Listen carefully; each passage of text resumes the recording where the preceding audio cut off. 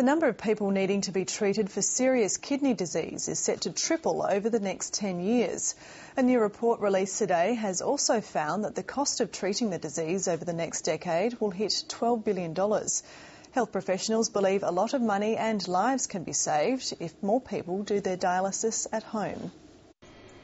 For a patient to have dialysis in hospital costs around $80,000 a year. To have it at home is $30,000 less. Sandra Bell says by doing it herself, she's not only saving the system money, but she's saving herself time. She hooks herself up every second night and sleeps through most of her dialysis. I feel like about 100% better than I did when I was going to the clinic.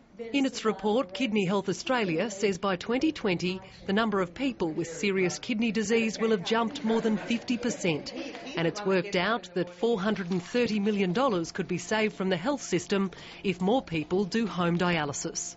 A patient who goes home regains some self-control, regains uh, uh, a measure of uh, self-worth and self-esteem. Kidney disease is on the rise in Australia for four main reasons. The population is ageing and the rates of diabetes, high blood pressure and obesity have exploded.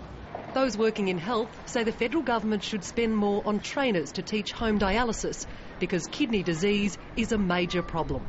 One in three Australians is at increased risk of developing kidney disease, and one in nine Australians already has some form of kidney disease and they don't know about it. A government spokeswoman says home dialysis isn't an easy solution because most end stage sufferers are over 75 or are Aboriginal. Sandra Bell says it took over two months before she got the hang of it. She says if she'd got more encouragement from doctors, she would have started at home much sooner. Kerry Ritchie, ABC News, Melbourne.